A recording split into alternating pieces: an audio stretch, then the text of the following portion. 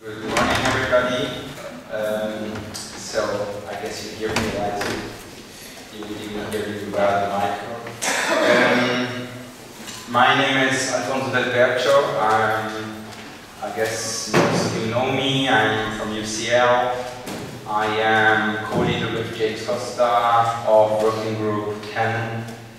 And I have the pleasure today to present to introduce our second um, keynote, Cécile Vigouroux. As most of you know, Cécile Vigouroux is Associate Professor at the Department of French at Simon Fraser University in Vancouver, Canada, where she has been teaching since 2005. Cécile has also been a visiting professor at the University of Chicago. She has taught at the University, uh, Université Paris 3 and was a fellow at the Max Planck Institute for the Study of Religious and Ethnic Diversity. Working within and across the field of migration and transnationalism, globalization and colonialism, francophonie, language and economy, as well as language and labor, Cécile is very well acquainted with the social and linguistic tensions, struggles, and inequalities that are linked to new speakerism in current times of deep political and economic transformations. Through her ethnographic fieldwork in South Africa, Congo, Togo, and Benin, she has helped us challenge simplified understandings of language locality, socioeconomic inequality, and linguistic authority she also has encouraged us to problematize Eurocentric positionality through which we generate knowledge of language and society. In the last couple of years, I had the privilege to have Cécile as one of my main interlocutors. She has been a mentor, a colleague, and a friend. Her comments, reflections, and critiques have made me grow both academically as well as a, as a person. Cécile is one of the most inspiring and stimulating scholars that our discipline has to offer at the moment. So without further ado, ladies and gentlemen, please join me in welcoming our guest speaker, Cécile Vigouroux. Thank you so much, uh, Alfonso, for this very generous uh, introdu uh, introduction. It's, very touching, um, very touching to me. And uh, I would like to start uh, by thanking Clara and the team, um, as well as the sponsors of the event for uh, asking for uh, taking care of my trip from Vancouver. And uh, I also would like to thank, uh, to express my gratitude to the members of the committee of the Net, uh, New Speakers Network, especially Bernie, uh, Joanne, Marilyn, um, whom I've been in contact with, for inviting me to share um, a perspective from Sub-Saharan Africa on mainly I'm going to focus today on language and migration. And I know um, uh, some of you work uh, on this topic, so um, I, I, I, want to open a conversation with uh, issues that uh, are um, happening uh, elsewhere uh, in this world. So I feel deeply honored and grateful for being given this opportunity to present uh, some of my work. So as you, can, as you will see in my talk, I will bring uh, into the discussion many, many things that usually uh, don't qualify as linguistics, uh, but I think uh, when we work on language and migration, it's very hard uh, not to have an anthropological, historical, sociological um, perspective um, on the people we work on and we work with. So bear with me, I'm not going to talk about languages at the beginning of my talk, but I did it on purpose. so, migration is, is certainly one of the most politicized uh, topics uh, in the 20th and 21st centuries. And so, the discourse of I, I, like to walk when I talk, so that's going to be challenging. so uh, the discourse on migration is a big threat to national economies and one of the major causes of the rise of unemployment among native workers circulates very, very broadly uh, across the world, including in Africa. So the figure of migrants as economic predators and welfare-hungry parasites has been exploited by many nationalist parties. Worth noting is that the over-politicization of migration has also shaped part of the scholarship produced on the matter. So anyway, I was uh, talking about the over-politicization of migration and what I've been interested uh, in is how it has shaped the ways in which we think of migration and the kind of issues uh, we uh, tackle.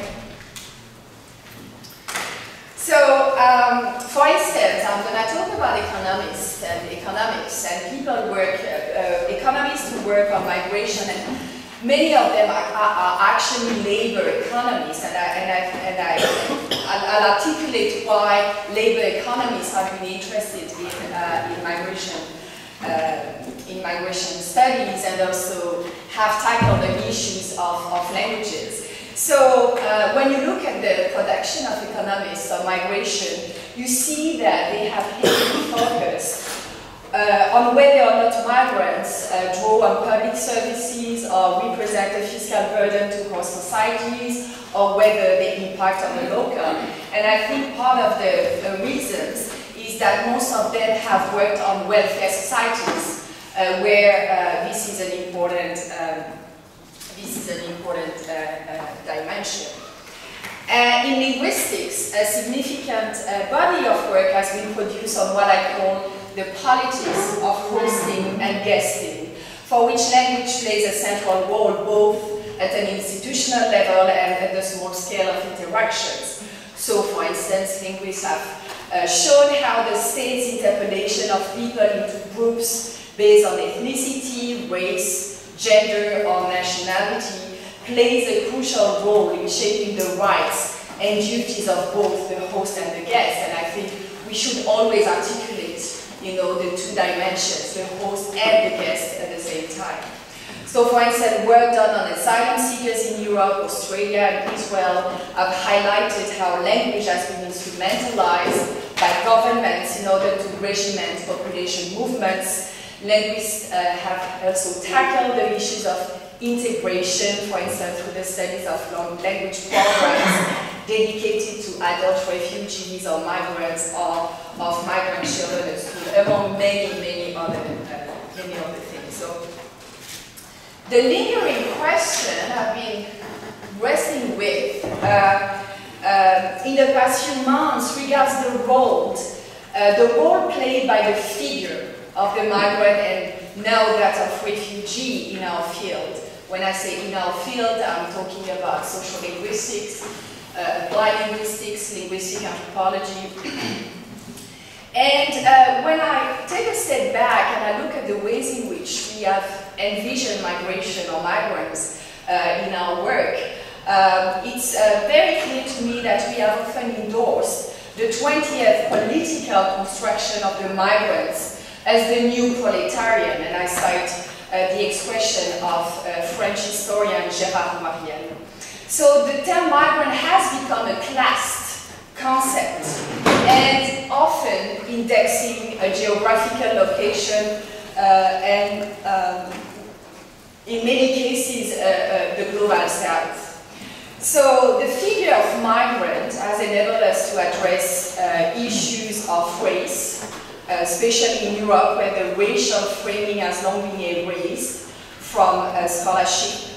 It has also enabled us to tackle issue of social class dynamics, often without mentioning it in some part of the world, uh, notably produced in North America.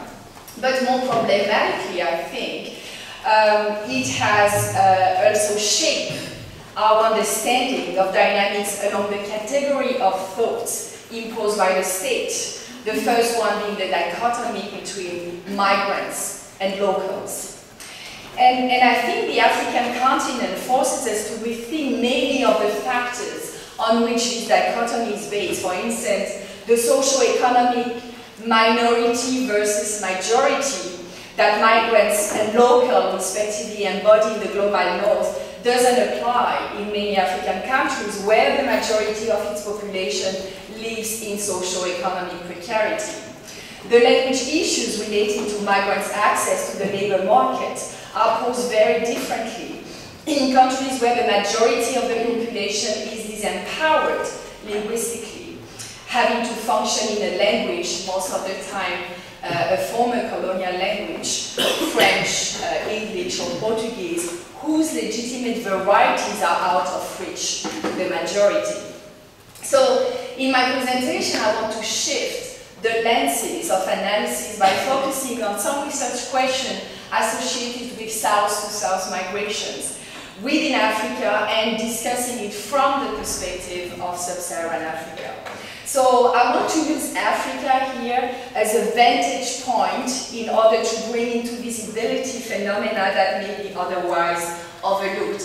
And I think many of the uh, questions are, that I'm going to raise are questions that actually are posed also in the European context, but we tend to uh, overlook these questions.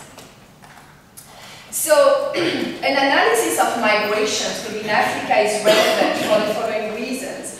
One of them uh, being demographic. According to the United Nations 2013, the scale of south-to-south -south migration is similar to that of south to north, respectively 36% and 35%. And I wanted to uh, give you a, a clearer picture. Uh, as you can see, I mean, it's, it's not very obvious, but in Africa, 80% of African uh, migrants move within the continent, either by relocating from rural to urban environments or transnationally, often to neighboring countries. So these figures tend to challenge the grand narrative on African migrations produced in the global north by disputing ideologically loaded ideas about African countries as predominantly sending countries and African as all aspiring to the greener pastures of the global north. Such framing is fostered by and feeds European and North American nationalist discourse, whose ideological apparatus draw its inspiration, inspiration from a long legacy of racialized and racist discourse.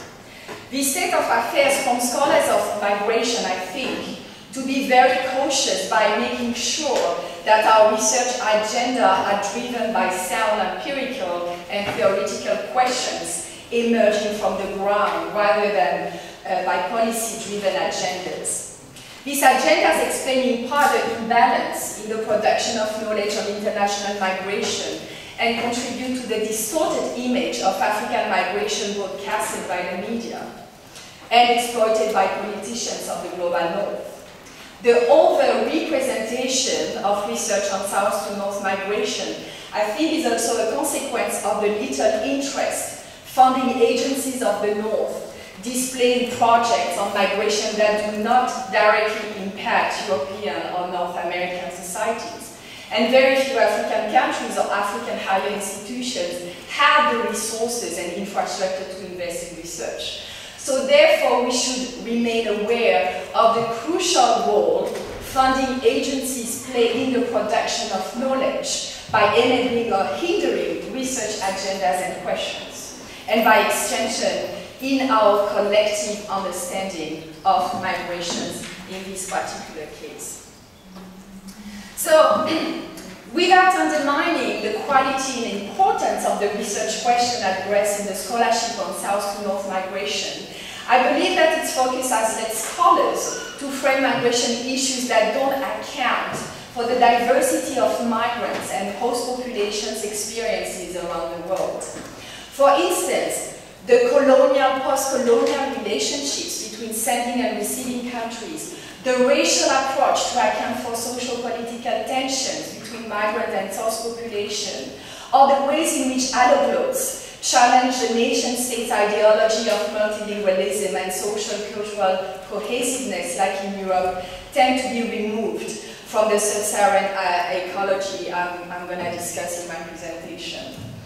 More fundamentally, the question I wish to raise here and the accounts I provide are aimed to remind us that the linguistic notions in currency in our research area and the practices and ideology they seek to describe were typically born out of language dynamics in the European and North American context. I believe these notions do not invalidate our findings if we consider them as a province of our knowledge rather than as a globalizing explanatory account or the only lens through which other situations must be explained. And by province of our knowledge, I allude to Chakrabarty's 2000 idea of provincializing Europe, as expressed in the following quotation. sorry, provincializing Europe begins and ends by acknowledging the indispensability of European political thought to representation of non-European political modernity and yet struggles with the problem of representations that this indispensability invariably creates. As a matter of fact, one can't but notice that despite its long tradition, the scholarship on intracontinental African migration has hardly influence the research paradigm and issues arising from what tends to be a heterogeneous field of migration and transnational studies.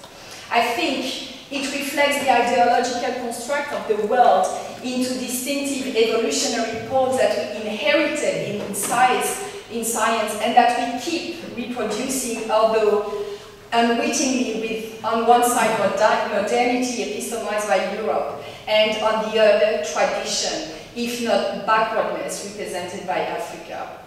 I think the above quotation from uh, Chakrabarty also applies to our way of thinking and talking about language practices and linguistic ideologies. However, I don't believe that migration patterns within Africa differ stri strikingly from migrations elsewhere. Only some patterns are more prevalent in Africa. So the point I wish to drive here is that the scholarship on African migration, including that pertaining to language, can contribute greatly to linguistics and migration study in general by asking new research questions and contributing to new methodologies.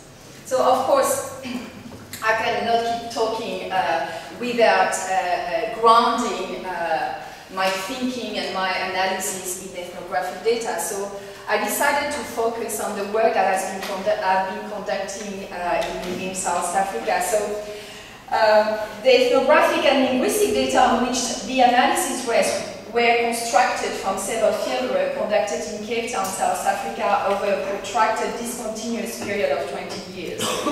The populations whose language practices are analyzed are black African migrants from former French and Belgian exploitation colonies these migrants are part of intra-migration movements from the former French and Belgian African colonies that date back from the mid-1980s, so it's quite a recent uh, migration.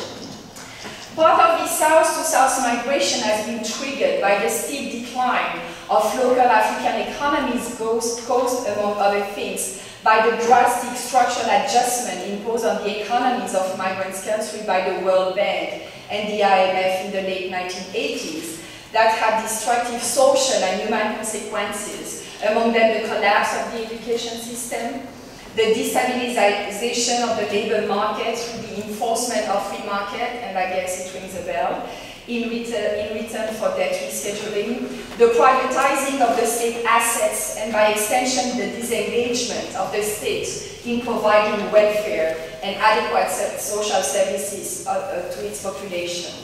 In addition, the tightening of European migration policies, notably with the creation of the Schengen area in June 1990, has impacted the traditional migratory pathways between the former colonies and the metropoles, forcing African migrants to explore other routes, and South Africa is part of this new route um, that has been explored uh, since uh, the early 1990s. Uh, and I say 1990s because the 1980s migration is very um, different from the 1990s, as I'm going to explain. So the new migratory trajectories have fostered new kinds of population contacts and therefore new language dynamics and practices. So Although all my consultants are administratively categorized as uh, asylum seekers or refugees, I choose not to use the institutional categories to define them for the reason I, I want to explain. Although these 80 categories may be useful in terms of policy making, it may not always be relevant for explaining dynamics of language contact and practices in migration complex settings. Moreover, I think they can obscure, obscure the latter if taken for granted. So I want to uh, illustrate my argument by uh, discussing the notion of the institutional category refugee, a category often used to describe migrants in and of sub-Saharan African countries, and now it's, it's used a lot uh, to describe Syrian refugees in Europe. Um, and and the, the, category refugee is pretty important uh, uh, for, for, to describe African migration because a, a very high proportion um, of uh, migration on the African continent and elsewhere actually constituted people um, uh, categorized as refugees. So although the category refugee captured the condition under which individuals or groups of population left their countries of origin and the lengthy and burdensome administrative procedure they were submitted uh, to at the receiving end of their geographic trajectory, it doesn't provide an explanatory framework for understanding the conditions, nature, and periodicity of population contacts. For instance, and I worked in a, in a refugee camp uh, about 15 years ago in Cape Town.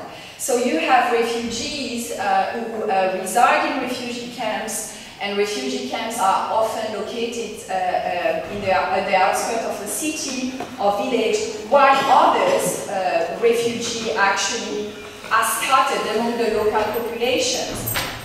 And my ethnographic work highlights the fact that the language practices of those classified as refugees uh, in, my, in my own work don't differ from those who are not. Their patterns of interactions, which are fundamental for us to understand in order to understand, you know, uh, the, the, the, language dynamics, don't differ from those who are not classified as refugees. so their patterns of interactions are independent of their administrative status. And for instance, and it varies according to, to countries, for instance in South Africa, um, when you are a, a refugee, uh, you are allowed to seek employment or you are allowed to study. So one may argue, you know, because you have the status of, of refugee, uh, you may have a better access to local employment, you know, uh, you know, uh, unlike, for example, undocumented migrants. And therefore you can, you know, think that because they have a refugee status, they have greater opportunities to interact, uh, interact with locals. But my work has shown that the reality on the ground shows that access to employment is often based on the social capital the migrant possesses rather than a legal work permit. Therefore, I believe the analytical relevance for us linguists of the institutional categories refugee, undocumented migrant, economic migrant, and so on, should always be assessed empirically rather than being posited a priori. Okay, let's talk a bit about language. So, when I started my ethnographic work 20 years ago, I noticed my, that my consultants were always surprised when I asked them if they had been anxious to migrate to South Africa when not speaking English, nor any of the local languages. The usual answer I received from them was, une langue ça s'apprend, a language you learn it. They meant that one did not learn a language for classes. It is eventually acquired naturalistically through regular interactions with its speakers. When reflecting on my question years later, I realized that my question was informed by my own experience as a migrant worker to Cape Town in 1994, for which I had prepared myself linguistically by buying English grammar books, vocabulary books, spending hours a day learning countless decontextualized words and phrasal verbs, and religiously reciting the list of irregular verbs. My questioning reflected my literacy-based ideology of language learning, which was not the one by which all my consultants were operating. Multilingual speakers in Africa whose experience of language acquisition involving various indigenous languages has been predominantly naturalistic and who are used to operate in highly multilingual environments where they constantly have to adjust tend not to frame the lack of proficiency in the language of their new host language or languages of their new environment as a potential barrier to their social or economic adjustment or as a prerequisite for operating in their new social cultural um, ecology. So my work shows that linguistic ideologies and linguistic habitus are two important factors according to which migrants construct their language learning trajectories on the ground. I believe the two should be articulated together as speakers always learn both a language and a relationship to a language and therefore the indexical values associated to it. Bourdieu's notion of linguistic habitus points to the generative principle that produces practices and therefore inscribe them in the history of their emergence, uh, development, and adaptive deployment in a given context. Habitus is fundamentally about performance. It is speakers' responses to the myriad, unpredictable contingencies of the moment. And as I will detail later, taking into account speakers' habitus has methodological and theoretical implications. So, my findings show a striking contrast between the migrants who operate according to uh, learning, uh, what I call a learning a, uh, learning a language as you go principle, and those who choose to attend free ESL classes. So at the beginning, I'm going to talk about uh, colonial, former colonial languages. So the latter group is predominantly, so people who choose to attend ESL classes are predominantly uh, educated migrants who have been schooled the longest in their respective countries and have therefore internalized the idea that language in which they have been schooled, and in this case French, is an asset for social economic mobility. So they think uh, that substituting English for French in the same way that the latter was acquired will give them a competitive edge on the South African labor market. On the other hand, those who are less or non-educated have a more pragmatic approach to learning English. And I'm going to play, um, we need to switch because we, I cannot use the mic and the sound at the same time. So the interview was done in French. On me dit, oui, tu sais, euh, tu peux pas faire ceci parce que tu ne parles pas anglais. Tu peux pas, tu vois, il y a ces genres de barrières euh, qui, qui va vraiment te retarder là. C'est un peu ça. Mais je pense que c'était juste un problème de milieu. Parce que j'ai vu des gens venir ici, bah, pas vraiment avec un bon niveau d'anglais, travailler. Hein. On était un peu du genre un peu retardé, un peu. On nous dit, ouais, c'est pas le moment, vous êtes trop pressé, prendre votre temps, il faut bien apprendre la langue, et puis voilà. Okay, so this is the case of Ben, who explained how the company told him that he should first learn English for, before looking for a job. And based on experience, he found a job not too long after he arrived, and his assessment of the situation on the ground uh, brought to challenge the advice he received. And what is very interesting is that uh, a lot of these ideologies circulate within the migrant community. So people, when you arrive, people will tell you, it, it's like they, they lay out a plan for you of what you are potentially, what potentially you should be doing, what kind of work you should uh, be doing. That's why when you, I, I worked with people coming from 12 national communities, and that's why you see, you know, people working in the same kind having the same kind uh, line of work because they, many of them don't explore other, other opportunities. So, uh, many of the migrants who adopt a learn-as-you-go strategy, uh, like Ben, tend to refrain their participation uh, in South African social gatherings as an English learning process. And uh, during my several months volunteering as a French English interpreter in a trauma center for African refugees in Cape Town, I used to ask the patients about their motivation to attend the biweekly group therapy sessions and the psychological benefits they withdrew from them. To my astonishment, many responded that they came to learn English, as they were provided simultaneous French-English and English-French translations during the sessions. They displayed little interest in the therapeutic exercise that they say was very foreign to them, but recognized that group therapy, the group uh, therapy interactional setting as a unique language learning opportunity. And so the same learning dynamics also apply in uh, Congolese Pentecostal churches in which I conducted a very long ethnographic uh, work that offer bilingual French-English and Lingala English services. Although congregants don't primarily attend church services to get exposed to English, many recast their participation also as an English learning experience thanks to the interpreting activity. So I want again to play Ben.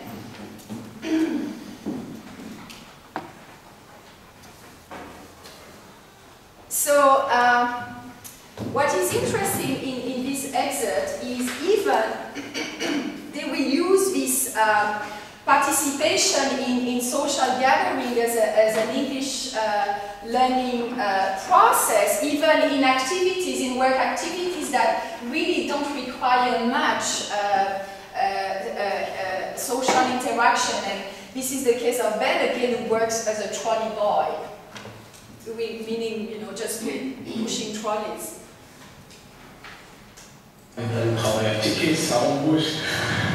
Ouais, on embauche, on a bossé là comme des boys et tout ça. C'est là que j'ai appris aussi l'anglais en fait. Mais tu oh, vous communiquez beaucoup euh, en, anglais quand on est trolley boy Tu parles Ouais, beaucoup euh, moi, moi, moi c'est là que j'ai appris l'anglais en fait parce que euh, j'étais curieux, je voulais je veux savoir pourquoi, qu'est-ce qu'il veut dire les clients et voilà, du coup je me suis imprégné rapidement à parler avec eux, euh, à demander. Such language learning dynamics, which I believe are not restricted to Africa or Africans, raise two important points. First, it prompts us to reconsider the overwhelmingly literacy-based perspective on migrants' language acquisition in our scholarship, and to account for what I call the serendipity of language acquisition. In this case, serendipity uh, involves speakers' proactivity and creativity in transforming any social event or interactional activity into a language learning process. From a methodological point of view, it involves documenting and assessing migrants' any construction of these spaces. And in order to, to do so, we field workers should also, also apply serendipity by exploring grey alleys and uncharted paths and remaining constantly surprised by new observations and open to new explanations. Second, my South African findings also question the fee for all response, most generally provided by governments and NGOs for migrants' acquisitions of the language or languages of their host country. Although literacy-based and decontextualized language learning classes may, may be well adapted uh, for some migrants, they may not be the most beneficial responses uh, for others. So the problem arises when attendance of these classes uh, is made mandatory as part of the binding contract between the migrant and the host country, as done in the case of France, but I'm sure it applies in, in, in your respective countries. So here I step out of Africa for a while to address issues some African migrants face when they find themselves trapped in the European immigration institutional maze. So, in the French contrat d'intégration, which migrants are asked to sign upon their arrival, language learning classes are initially presented as a right you will be entitled to. A few lines later, this right is reframed into an obligation. You make a commitment. Literacy is not only part of the language training, but is also used for assessing the migrant's language acquisition. The use of literacy in this context is just one example of how the latter has increasingly become a requirement for entry to a growing range of opportunities and services, not just for migrants, but also local workers and welfare recipients. Coming back to my earlier point on the categories of thoughts imposed by the state, the distinction between migrants and locals would prevent us from analyzing the use of literacy in language learning classes for immigrants as part of broader dynamics of social exclusion as documented by critical uh, literacy scholars. Indeed, literacy tests have been required variously as a condition for registering for an employment agency, getting into a, training program, applying for social assistance, and receiving unemployment insurance. While language and literacy may not be experienced by individuals as a problem in the routine conduct of their lives in their host ecology, a decontextualized and literacy-based assessment of what counts as language acquisition is made to matter by powerful interests such as governments and employers. Worth noting is that the French uh, uh, DILF test, uh, uh, initial diploma in French, was launched at the request of the French Ministry of Employment, illustrating how government have been mainly thinking of migrants in terms of manpower, upon to which I come later. So in France, not only the failure to perform the test may result in exclusion, but also the failure to attend mandatory language training or complete the program may engender termination of migrants lawful stay on the national territory. So to my knowledge, no such formalized literacy requirement exists in sub-Saharan Africa. In Cape Town, it's very hard to assess whether the migrants who learn English in ESL schools better thrive economically than those who didn't. My fieldwork showed that on the South African job market, the migrants cannot rely overly on the institutional notion of linguistic capital to be uh, competitive. Although they are hard to assess, multiple overlapping factors bear on my interviewee's work trajectory, and language might not be the most important one, as I illustrate now. So it's not that I like Ben particularly, but he was the one who was ready.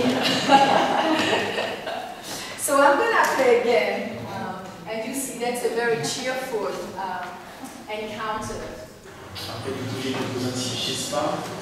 Et ses parents m'ont appelé. Euh, au niveau, je m'appelais ça en portugais. Il m'a dit, ouais, uh, we can talk now. I can see your French man. I said, yes. But you don't speak English very well. I said, yes.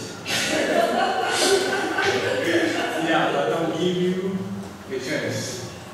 Okay? I understand. I want you to be able to do the right job. I don't care about if you don't speak English very well. Okay, fine. Il m'a donné un contrat de trois mois, il m'a dit je veux te voir comment tu vas travailler après, euh, moi de décider. Et du coup, euh, dès j'ai commencé à travailler, c'était vraiment facile, tu vois, le milieu. J'ai commencé à parler anglais, je me forçais tout le temps, après, ouf, c'est parti. Et il m'a donné un contrat déterminé. So, a deeply entrenched assumption in the literature of migration is the correlation between migrants' competence in the host country's language and languages, and their likelihood of being inserted in its economic system. In other words, the migrants who speak or learn the language of their social, uh, economic, eco ecology well, and I do it on purpose, are presumably more competitive on the local job market than those who do not. And the vast majority of the quantitative studies that economists conducted again on Europe the US, Australia, and Israel corroborate this correlation. Worth noting is that economists' general conclusion rests on a narrow geographic subset of linguistic situations of the global north. Rather than reflecting their Western bias, this limited geographic scope points to the lack of uh, reliable, uh, relevant, reliable data in many parts of the world, challenging the quest for generality that is a permanent, almost obsessive concern of economic analysis. Their conclusions on the significance of the migrant competence in the host country's language for the purpose of uh, economic integration have been largely embraced by policymakers of the North and by supranational agencies. These findings have given a scientific stamp on the studious and biased and apolitical to use language testing in order to regulate populations, mobility across nations, which, uh, with states capitalizing on it to assert their sovereignty. As I shown in the social linguistic literature, language has become, has become a key component of the global uh, mobility regime. So before challenging the assumed the straightforward correlation between language competence and economic uh, integration, I want to make a detour by stressing the long relationship economies have entertained with policymakers in charge of migration issues. I believe that this brief historical background can shed light on economists' interest in migrants' host language proficiency and the resonance of their work on policymakers. Economists played an instrumental role in fulfilling the migration policy mandate given to the International Labour Organization, ILO, at the end of World War I in order to regulate the massive exodus of war refugees across Europe and to the United States.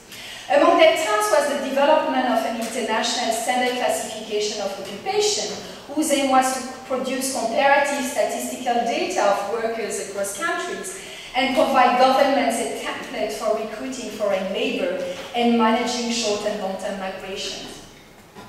Economists' early involvement in migration policy reflect the ways in which migration has been pre pre sorry, predominantly framed since that time as an economic and therefore political matter, with governments of the North constructing migrants primarily, if not exclusively, as economic actors and manpower, rather than full-fledged participants in a host polity. So, a economic straightforward correlation between language competence and employment frames languages as both the problem and the solution to migrants' integration. According to this line of thought, the acquisition of the host language is treated as a migrant uh, efforts and willingness, while socio-economic integration is believed to be of their sole responsibility. So, language as human capital as economists do rest on the ideological assumption that language can be treated as an autonomous system whose, social, whose economic competence for an individual can be derived from from its intrinsic nature. Such framing tends to construct social agents as rational language users or learners, the languages they speak as non-indexical, and the the labor market in which they operate as race, gender, and ethnicity free, equally accessible to everybody providing they have the right skills, including language. As long documented by social linguists, we actually did good work. Um, and others, not me. Uh, race, ethnicity, and gender are axes of inequality along which societies operate, with language playing a key role in the production of socio-economic discrimination. The, critical assessment of the non-straightforward correlation between language competence and socio-economic insertion does not dispute the importance of language in the migrants' access to services and resources provided in the host society. Indeed, those who do not command the host language or languages or, or who lack a local system support that would compensate uh, for it are likely to be more subjected to various local forms of exploitation, including from other migrants. And I've documented there that exploitation is actually, linguistic exploitation also occur uh, within migrant, uh, migrant communities. This observation simply underscores a non-negligible counterpoint to the widely shared assumption that a migrant's lack of competence in the main languages of their host economy impedes their social and economic um, emancipation. so the questions I want to ask is to what extent the correlation between language competence and economic integration based on formalized economic system with highly regulated labor markets reflect African migrants' experience in the overwhelmingly informal, and I tend not to use the notion of informal economy, I prefer um, to talk about vernacular economies of the continent, is the ideology of the standard that may impede non-native speakers, and, and I use non-native uh, in, the way, access to jobs in European and American contexts relevant to African settings where the dominant language of the main economy, and in this case English, is overwhelmingly spoken as a second or third language by the local population. So none of my consultants in Cape Town, in Cape Town had any career plan before they came to South Africa. The narrative revealed complex work trajectories constructed and above all serendipity. I never asked language-related questions when I prompted my interviewees to narrate their work trajectories, and that may sound very strange uh, when you are a linguist. But um, I was interested in the emergence of language-related discourse or lack thereof when recounting their work experiences. I wanted to see in the ways in which they, they recount their work trajectory, the, the ways in which they make sense of their work uh, trajectories is actually also shaped around uh, uh, issues of language. So one striking contrast emerging from the interview was how the educated migrants were more likely to rationalize this, their misfortunes on the local job market by invoking their lack of oral or written proficiency in English compared to those of the migrants with no institutional cultural capital. One may argue here that, unlike the, the, their non-educated counterparts, educated migrants are likely to compete for jobs that require English proficiency and therefore feel a greater pressure to acquire this language of the dominant economy. Although it may well be the case, uh, but I believe it's only part, only part of the story. Without underestimating the effect of language competence on the migrant socio-economic mobility, I suggest we analyze this discourse also as part of language ideologies that educated speakers have internalized through the school system, okay? and it's very clear, uh, as I said uh, earlier, that uh, uh, uh for, for those who have been educated, they really think that uh, speaking English will, will help them assess, will help them climb the social economic ladder. Uh, and that's actually what happens in the case of French, although you still have this ideology, although French in many, many uh, former uh, French or Belgian exploitation, African exploitation colonies don't help you anymore to climb uh, uh, the socio-economic ladder, but what remains is this idea that it will help you. So there is a clear disjunction in equating language as a symbolic capital with language as an economic capital, as the conversion rate from one form of capital to the other appears to be very low. Worth noting is that the migrants' perception of English as an economic capital also vary according to their exposure to the local labor market and duration of their stay in the host country. And I interview um, among the over 200 form, formal interviews I did, I interviewed people who had just arrived. So I interviewed them a day after they arrived and I interviewed people who had been in the country for two, three, four uh, to 15 years. So I've got a very broad range uh, of, of people's experience.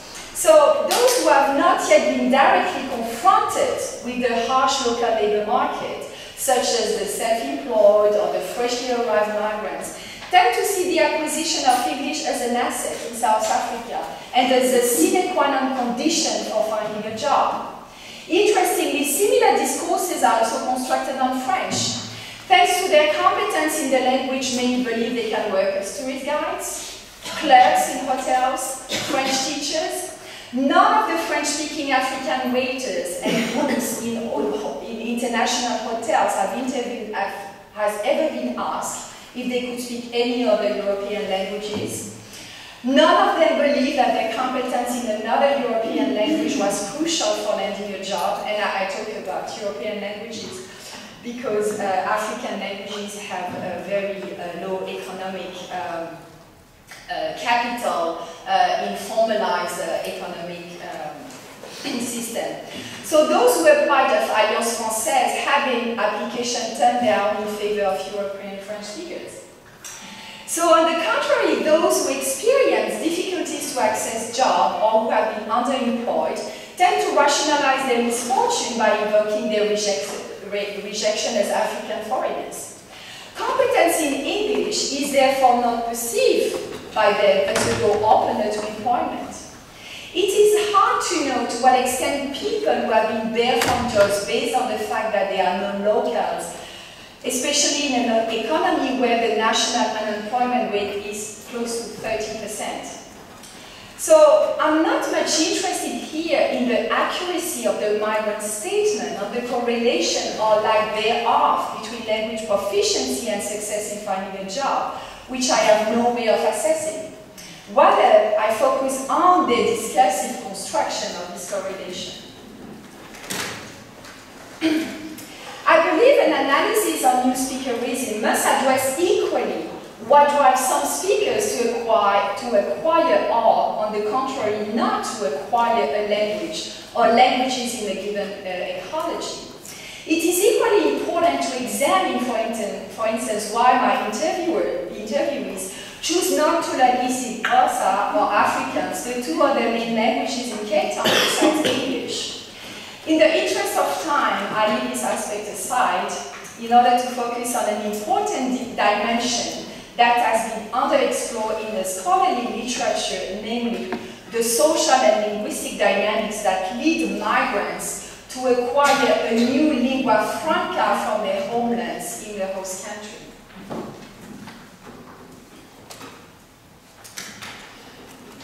In the literature on language and migration, great emphasis has been put on migrants' acquisition of their host languages and on their language attrition and loss, framing the migratory experience as putting in danger speakers' vernacular or vehicular languages.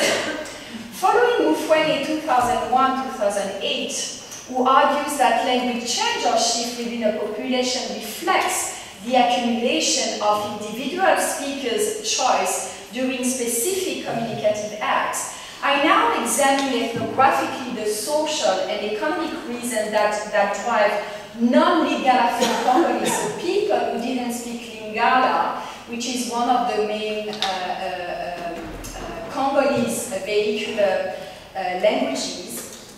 So I want to see why people who didn't speak Lingala in the Congo uh, and other migrants coming from other African countries where uh, Lingala is not spoken, is actually they learn the language uh, in, in, the, in, the new, uh, in the new setting. So I want to understand uh, what, what, are, what drives uh, the fact that people start learning Lingala in South Africa. So in the mid-2000, uh, during one of my fieldworks, I became aware of the spread of Lingala among Congolese migrants who didn't speak it prior to their arrival in Cape Town. This was a significant shift from the mid-1990s, where only a few Lingala words, to name certain endogenous practices, were circulating outside the community of first language speakers, the Kinois. So Kinois are people from Kinshasa. This index the centrifugal influence exerted in some not always legal domains by Kinois entrepreneurs in Cape Town. For instance, illegal phone businesses set up by hijacking regular telephone lines were called sumbela, meaning having a running stomach, or it's actually more vulgar, say, like shitting without, without stopping. Uh, So the, the, these irregular telephone lines were called Sumbela, Lingala word Sumbela, by anybody from the migrant communities who was using this service, including me. So if this entrepreneurship had remained confined to shady activities, as was often the case in the late 1990s, Lingala may not have thrived as much as it has in Cape Town. So this evolution must be also inserted in the broader history of the Congolese migration from DRC to South Africa, which have proceeded in several ways since the mid-1990s. Significant demographic changes have taken place over the years. In the mid-1990s, a third wave of Congolese arrived in South Africa following the collapse of the education system and that of the economy. Because they were far less educated than those of the first and second wave, many of them barely spoke French. Yet these newcomers comers had developed social and economic skills that were immediately transferable in their new South African ecology. Having grown up in the vernacular economy of Kinshasa, they had developed survival strategies which involved a very high degree of entrepreneurship. The economy of predation, it is referred to by some economists, has pervaded all the strata of the Congolese society, from the top of the state to the bottom stratum. La débrouillardise of System D, as it is referred to in Kinshasa, in, is encapsulated by what is commonly referred as Article 15, the 15th unwritten amendment of the Congolese constitution. Débrouillez-vous, vous êtes à la maison. Fend for yourself, you're at home that can be summed up as make whatever opportunities arise, arise to avoid starvation. So when, asked, when I ask people how do they, they get by on a daily basis, I, I hardly ask people, you know, what kind of job do you do? Uh, uh, because uh, I realize that we don't have the same, we don't share the same definition of what, you know, what constitutes a job. Uh, so usually I said, you know, what, what, how do you, do, do you get by uh, on a daily basis? And often my consultant in Cape Town answer in a slightly amusing, and enigmatic way, but still I'm Congolese. so the category Congolese in this context no longer indexes a place of origin, but a way of living. For those people, vernacular economy is not a choice by default, simply because there, are, aren't enough employment opportunities in South Africa. It is an adaptation of their economic behavior in their homelands to their new socio-economic environment. So therefore, the economic field in which many Kinois operate cannot be separated from their economic habitus, and again, as I told you here, they acquired in Kinshasa. Thanks to La Débrouille, the Kinois in Cape Town developed small to medium-scale businesses such as selling cigarettes on the street, braiding hair, operating internet cafes, and managing a trolley service. For those embodies, this practice becomes a resource for action, setting up a business, and to some extent a source of power, controlling who gets employed or not. As it operates in Lingala and generates source of income for its members, non-Lingalaphone Congolese or other migrants feel the pressure to acquire the language and have access to the jobs it offers. Because there is no institutionalized process of recruitment in the vernacular economy, the linguistic capital one possesses is crucial for landing a job. Indeed, social networks play a crucial role in getting informed about job vacancy, especially in an economic system where job advertising is mostly circulated by word of mouth. Note that the acquisition of this linguistic capital Lingala depends on the social capital one possesses, as the language can only be acquired naturalistically by interacting regularly with its speakers. And you see how in this context, social capital can be converted into a linguistic capital.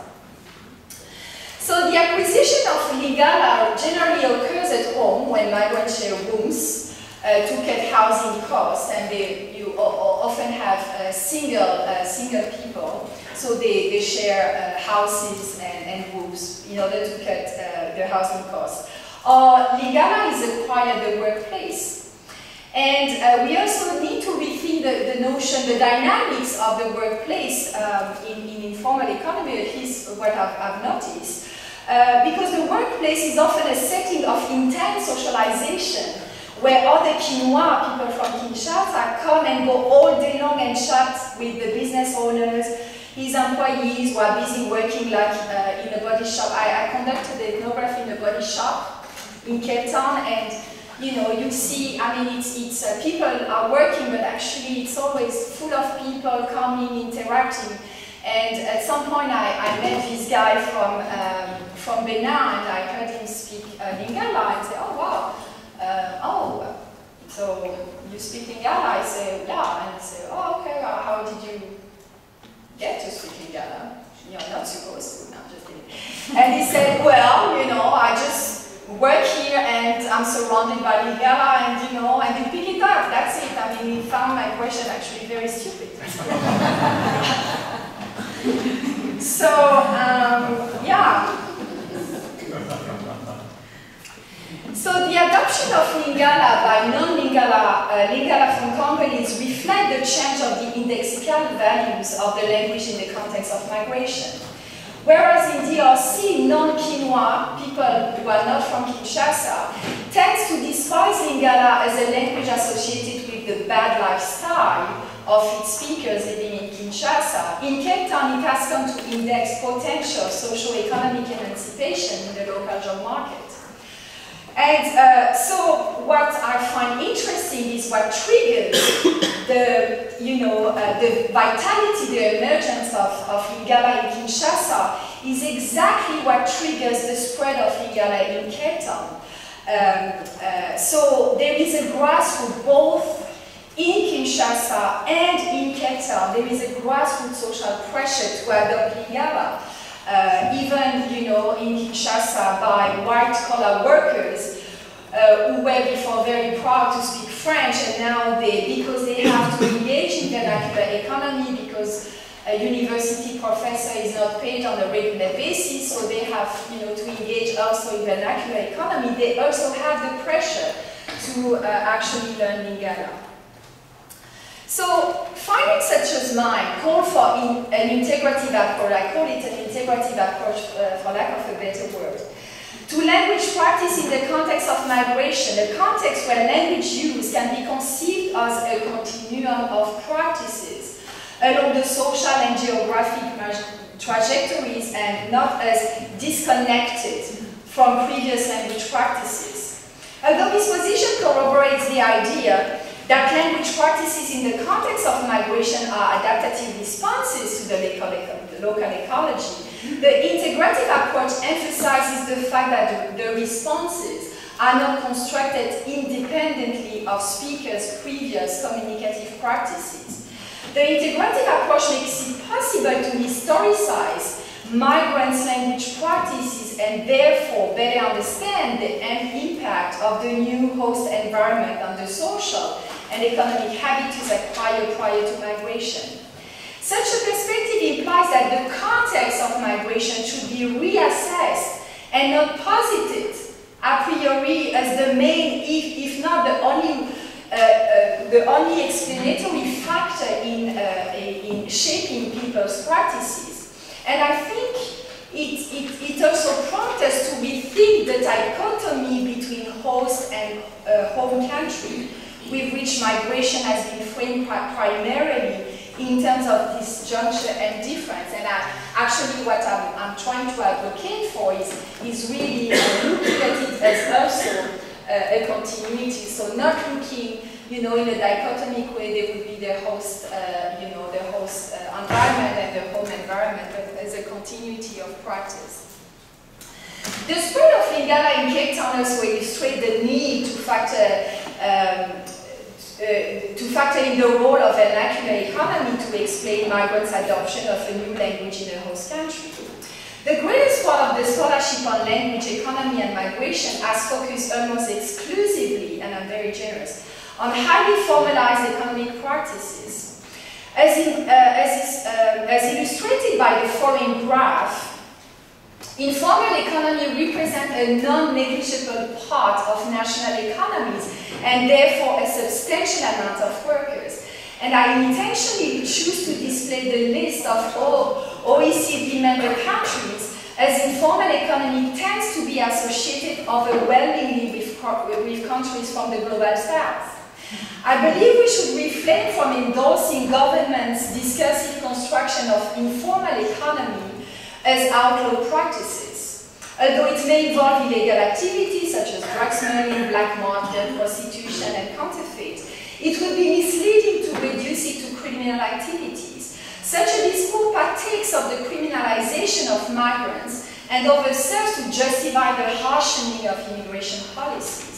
Because I believe it is an important part of migrants' pathways of incorporation. And I use uh, Schiller and uh, Çağlar 2014 notion of pathways of incorporation. I really believe that even in Europe and North America, uh, uh, uh, vernacular economy is, is really an important part of migrants' pathway of incorporation into their whole society. I believe that it deserves our attention. So here I have a few questions, and I, and I, I won't go uh, through it because I'm running a little bit out of time and I want to get to the fun part, I mean the last fun part. So one should bear in, mind, bear in mind that issues of language and migration should not only focus on the restructuring of migrant communicative repertoires, but also take into account that of members of the host population who are in contact with the migrants. To my knowledge, little work has been done on this facet of immigration. And I want to uh, show you uh, how Lingala has been spreading among young black female South African Cape And like many of the African counterparts, Senegalese, Malians, Zimbabweans, Mozambique, and Nigerians, the young Kinois people from Kinshasa have been highly visible in Cape Town nightlife filling the nightclubs and cafes on Street, the heart of Cape Town, club life and dancing on Congolese beat at Chintamba, a Congolese-owned nightclub. These young, well-dressed, and often flashy men have become highly praised dating material for some segments of the young black South African population who have learned how to dance ndombolo and other trendy Congolese dances. Sustained interaction and desire to associate with the kind of life this young urbanized embody have led some of these women to acquire Lingala. Gender dynamics seems to play a significant part in socialization and, by extension, language acquisition. On the other hand, my ethnographic fieldwork spanning a set 20 discontinuous years show Congolese women's strong reluctance to associate romantically with black South African men. They actually, in 20 years, I've never ever met any uh, Congolese couples where uh, the woman would be the woman would be Congolese and and and, and uh, the guy would be um, um black South African. So the role of gender and sexuality in fostering language spread in Africa and elsewhere at the societal and individual levels, and I think it really deserves our attention at a time when female migration is on the rise, not only on the continent, but everywhere else uh, in, um, in the world. Conclusion. By the very presence in a hostland, migrants embody complex and multidimensional geographical, political, economic, historical, linguistic, uh, historical relations between countries. However, one shouldn't dissociate the migrants too hastily from their agency and depict them as passive experiences of broader historical dynamics. And that's one of the problems I have with a lot of work that has been done on migration uh, with uh, migrants, uh, I think, be, being deprived of, it, of their agency. They are looked at as somebody who are passive and experience uh, broader historical dynamics. I believe that any reflection on migration with that on the ways in which mobility is constructed and discursively articulated by migrants and their host communities.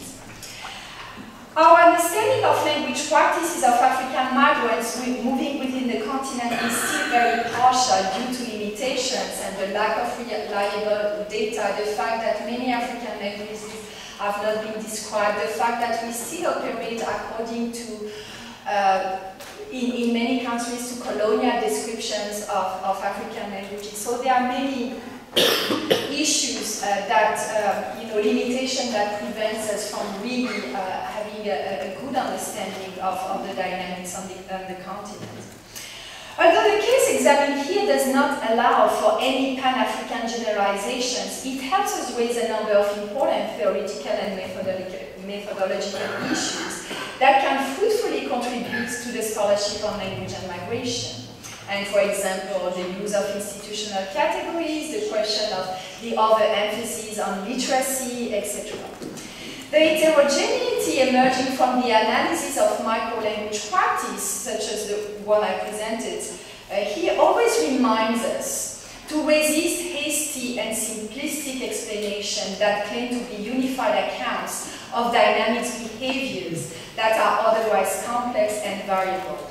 Yet, microscale studies should, studies should not let us lose sight of broader time space years of language dynamics. I hope that my presentation aroused the interest of some of you working on South to North migration and make you aware of the theoretical and methodological significance of scholarship on migration produced on and in the South. It should help us reshape, I hope, the academic discourse, making it more inclusive and hopefully um, a monument. Thank you.